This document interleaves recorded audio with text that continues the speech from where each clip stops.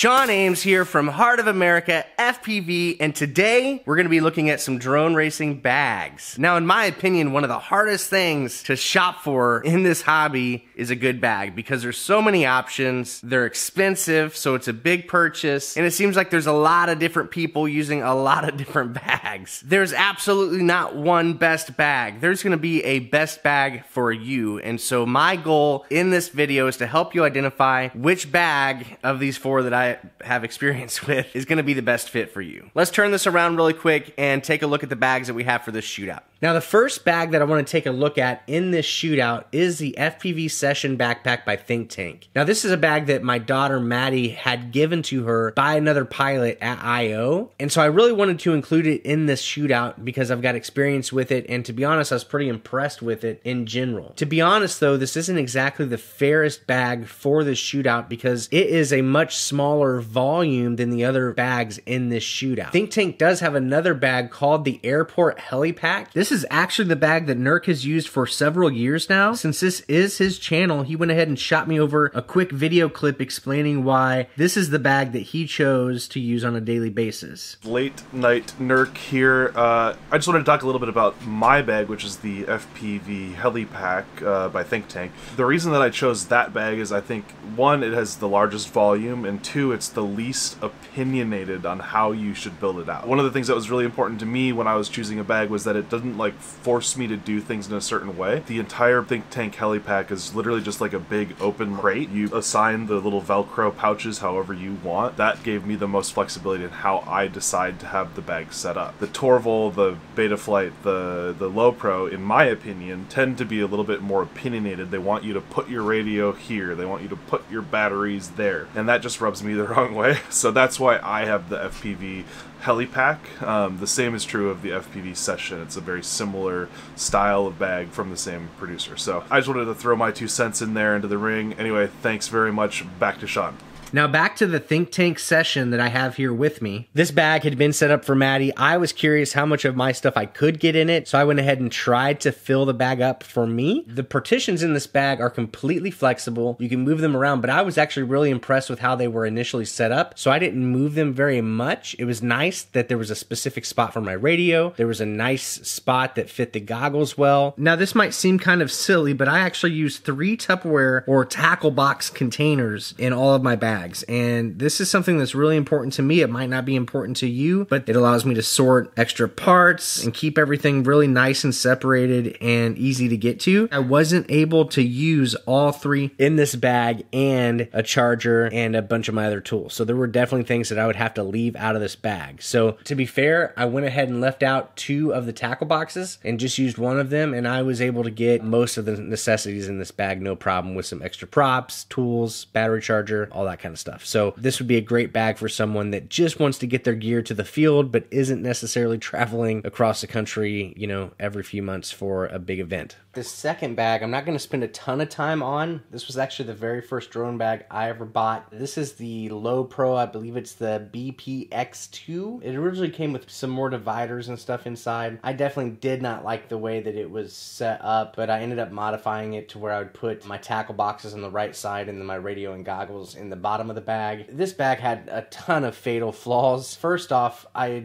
never really got into strapping quads to the outside of the bag because the clips like fell off and vanished within it had to have been a couple of weeks. The other thing is that obviously you have to flip the bag over to open it up. That's a bummer. The zip pockets on the side open the wrong direction so all your stuff falls out. And then finally I, I stopped using this bag on a regular basis because the zipper crapped out. It was a cheap zipper and uh, really out of all the bags this is the one that when I purchased it I saw it the most. It's definitely the one bag that I'm going to suggest you do not purchase. At this point in time, it's not the best value for sure. So now we're definitely getting into the good stuff here. This is the Betaflight bag. This thing got announced like four minutes after I ordered my Low Pro bag. At the time, I was kind of kicking myself because uh, it had a lot of things going for it that I was excited about. The way that the quads clip to the bag is super nice. Got a ton of components compartments. And in general, I initially thought that it had more storage capacity than what the Low Pro bag did. So I went ahead and unloaded my Low Pro bag at the time into this bag to see how everything fit. There was a lot of cool kind of features to the bag that I was super duper excited about. Ultimately, in practice, a lot of those features ended up being a little less than desirable. Probably the first one that comes to mind is this specific storage spot on the top of the bag for your radio. That seemed like a no brainer for me. Your radio is something that's very personal, it's very touchy. You want to take care of it. You don't want to be breaking gimbals or breaking springs and that kind of thing. Like, you want your radio to be protected. So, having a good spot for your radio in the bag is a big deal. The compartment for your radio just doesn't quite open up far enough. So, every time you put the radio in or pull it out, you're bumping your switches. This became super apparent to me right after I switched over to using this bag. I, I decided to take it on one trip initially to see what I thought of the bag. I'd had this bag inside of another checked bag, like inside of a suitcase. When I got home, I noticed that my baggage had been searched by TSA. No big deal, right? When I opened up compartment for the radio, I had two switches fall out of the compartment. TSA, in taking the radio out of that compartment, busted two switches off of my freaking radio. So it became pretty apparent that that part of the bag wasn't all it was cracked up to be. The next aspect of this bag that I was super excited about was the fact it had a spot for a laptop. My low pro bag did not have a spot for a laptop, and I was pretty excited about the possibility of including my laptop in the bag. As you can see, you can absolutely fit a laptop, and I have a very large laptop in the bag, but for me, when full of all my stuff, it just wasn't practical. It put a lot of pressure on the laptop, and I just didn't feel like it was very well protected being in the bag. The next aspect was definitely the little like tool holder thing that was velcroed in. Now, I thought that that feature was something I was really going to enjoy, being able to take my tools in and out of my bag and use them at the desk. However, as I haven't had this as an option, I've kind of settled into some methods. I've got all my tools in like a little case that goes inside of the bag. That tends to work out really well for me. And then at home, I've got a nice magnetic wall mounting system for all my tools. And it just didn't end up being practical for me to take my tools out of my bag at home and, and utilize that the way that I kind of hoped that I would. That didn't end up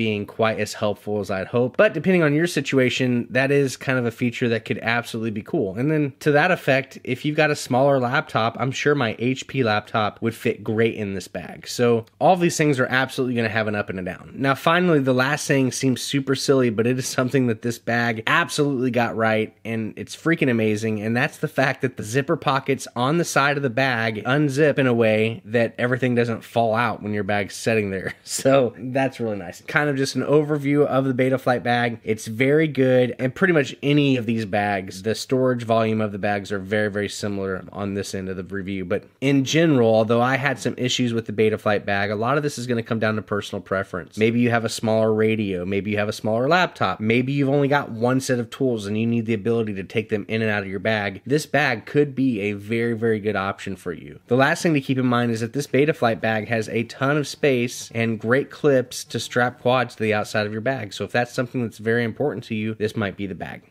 Now, the final bag in this shootout is the Torvol Pit Stop Pro. Now, at the time of making this video, this is probably the latest and greatest bag on the market. Um, I've been seeing it definitely more and more here lately. And this is the bag that I actually purchased for myself just a couple weeks ago. When the zipper on my Low Pro bag stopped, I temporarily started using the Betaflight bag, but I kind of felt bad about freeloading on, you know, review product that, uh, that we're going to be giving away. So I went ahead and got this sucker ordered uh, so far I really, really like it. It's almost comical to me how derivative all these bags tend to be of one another. A lot of these bags have taken a long time to get all of the things right. I believe the Torvol bag really does that. So, first things first, it opens from the top. Not only that, but it's opening from the same side as your quads are strapped to. So, you can set your bag on the desk or on your table or whatever, take your quads off, and open the bag without first having to flip flip the bag over. I know that's super silly, but until this bag, the Betaflight bag and the Low Pro bag all got that wrong, which was super surprising. Just like the Betaflight bag, the side pockets all unzip from the right side, which is awesome. The interior of the bag is not a lot different than all the other bags on the market. You've got dividers, you can set it up pretty much however you like. For me, it does fit my tackle boxes, so that's really cool. I found that the volume, the capacity of the bag is on par with everything else. I like that there's a specific spot for the radio. It's still not advisable to leave your crossfire antenna on, but it's a good spot for the radio, and I feel like it's relatively protected in there. I find that the side pockets are great for storing props. I can easily get 10 to 15 sets of props in the side pockets. On the back side of the lid, there's a couple of cool features. One, I actually think this is something I will end up using quite a bit. There's a little zipper pouch that's magnetic. If you're anything like me, I'm constantly losing and dropping hardware on the ground, whether it be prop nuts or like screws from a top plate, you know, at a race and trying to make a repair. This is going to be really nice. A specific spot to stick that stuff, I think, will be great. Some people seem to be a little excited about this. I think it's on the silly side, but there's a little flap that folds out with another zipper pouch inside of it. Underneath there, there's actually like a little sheet that pulls out. My understanding from Torvol is it's actually intended to be a spot for you to set or kneel on without getting your clothes all messy. But my thought is if you pull that out and spread it out in some mud, fold it up and stick it back in the bag, well, now your bag's all muddy. I'd almost rather get my knees muddy than my bag. But if that's the worst part about this bag, so be it. The bag does have a great laptop pouch. I'd kind of given up on the idea of putting a laptop in my drone bag just because my laptop's so freaking huge. I'm actually really surprised this fits really well and it might lead me to try to consolidate some other things inside of the bag so I have room for my laptop equipment like my mouse, charger, and that kind of thing. So the laptop pouch is absolutely legit and where it's at, I feel like it's very protected. So I'm gonna have to give that a shot for sure. Now, one thing I didn't really talk about with any of these bags is batteries. And That's just because of my personal preference. I don't put drone batteries in my drone bag. This is because typically I'm traveling to races and I've actually flown to quite a few races and I'm a little scared about my tools getting confiscated. So assuming I'm not really pushed on time when I get to the actual event, I will typically check my drone bag inside of it like a checked piece of luggage and I put my drone bag inside of it. And then if you're familiar with the TSA's guidance, like you're not supposed to put lipo batteries in checked bags. So I typically have like a lipo safe bag that I put in my carry-on to carry all of my lipo batteries in and goggle batteries and even, you know, sometimes I'll take the radio batteries out and that kind of thing. So I could see where that would be important to other people. The Betaflight bag and the Low Pro bag both kind of came with a specific battery compartment, but the Torvol bag does not. If you want to buy their battery bag, it's actually extra. It's an add-on you can buy for it. In general, the build quality of this Torvol bag is excellent. This is really the only drone bag I've ever touched that feels like it's got an upgraded zipper on it, which at this point for me is very important because the Low Pro zipper definitely let me down. But at this point in time, if it was my money, I think I would go with this Torvol bag. But at the end of the day, it's really going to depend on your needs. The Torvol bag is pretty limited in regard to how many quads you can strap to the outside of it. I think if you got clever and tried really hard, you might be able to get four by kind of double stacking them. But I could see for some pilots that's not going to be ideal. For me, I don't really strap a lot of quads to the outside of my bag, so that's not really that important to me. So that's pretty much it for the shootout on these bags. Obviously, this isn't every bag that's on the market. There could be a lot of other bags coming on the market, so you know, feel free to check those out. We might include links as they come up in the description. But in my opinion, the Torvol bag would be a great buy. I would absolutely look into the Think Tank bags, depending on your needs, whether it be the Session or their airport bag. That bag looks to be huge and has a lot of space for everything. I'm not sure about how it holds up in the build quality, but definitely worth checking out. The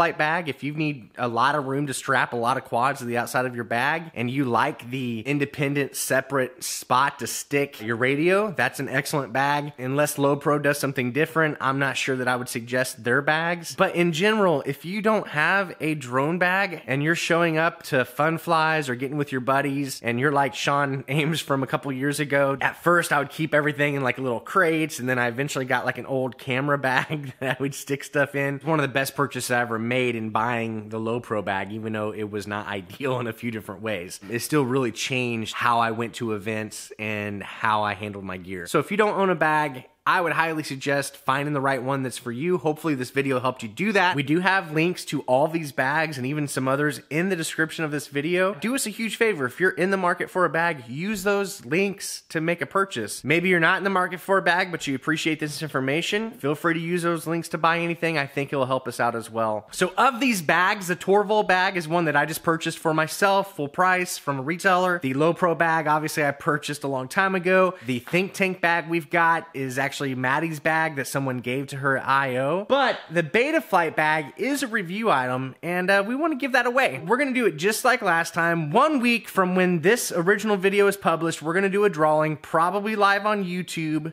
where we use a comment picker to find out who's going to win the Betaflight bag. Now, this time there's a bit of a catch because these bags can be a little expensive to ship. From my experience, probably around 25 to $30 in the US to ship this bag, a lot more overseas. But the good thing is that means someone who really wants this bag is going to end up getting it for just a shipping cost. So you will be responsible for paying for shipping and then we'll work all that out, getting the cost PayPal before it's shipped and that kind of thing. We'll be doing a drawing on YouTube, so leave a comment below the description of this video if you would like the opportunity to win this bag. Obviously, obviously hit the thumbs up and share this on all your socials, and maybe you'll have a better chance of winning.